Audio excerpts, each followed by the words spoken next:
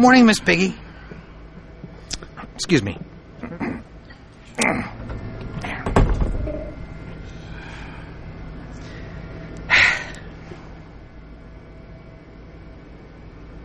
Hey, can I ask you a question? You know, you and I have, I guess we've never just really hit it off over the years. And I always wonder why. You know, I mean, I think if we tried, we might become good friends. We've got a lot in common. You know, when you think about it,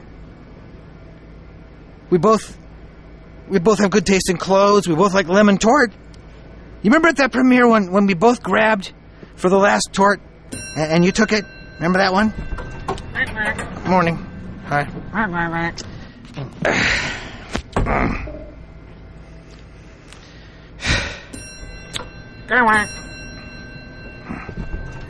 So anyway, uh, I was thinking, suppose we grab a little latte or something sometime. You know, just the two of us, a couple of industry people, you know, chewing the fat, talking about the biz. You know, we could be cool. We would just get together and. Yeah, that went well.